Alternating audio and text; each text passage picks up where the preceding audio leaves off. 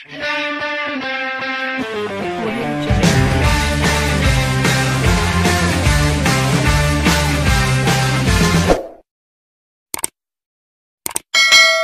Persija. Pelatih Persija Jakarta Thomas Doll mengaku sudah punya cara untuk membongkar pertahanan rapat PSM Makassar pada laga lanjutan Liga 1 Indonesia 2022.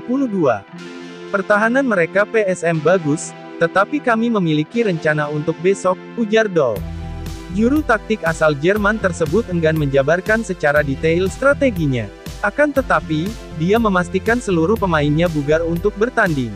Dua pemain asing yang absen pada beberapa laga sebelumnya, yaitu gelandang Hanno Behrens dan penyerang Abdullah Yusuf Helal juga disebutkan Dol siap bertanding. Tapi, keputusan menurunkan mereka baru dipastikan setelah latihan resmi pada Selasa malam.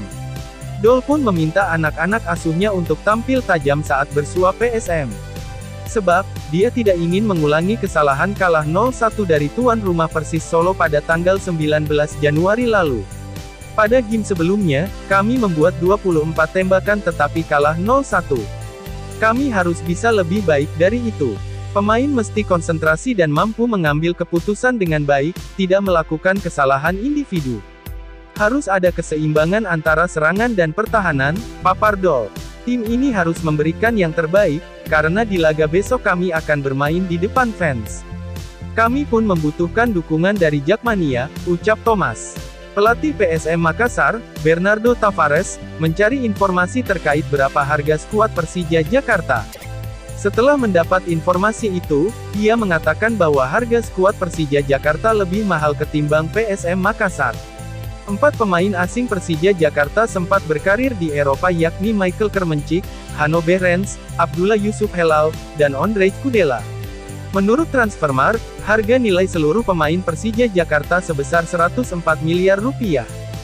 Belum lagi ditambah kehadiran pelatih Thomas Doll yang sempat membesut klub Jerman, Borussia Dortmund.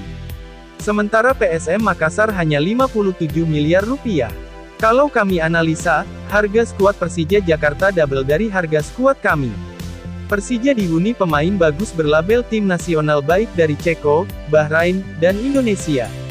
Mereka juga punya pelatih yang sempat berkarir di Dortmund, ucap Bernardo. Dengan banyaknya pemain berkualitas, Bernardo menilai Persija Jakarta akan merasakan tekanan pada laga besok.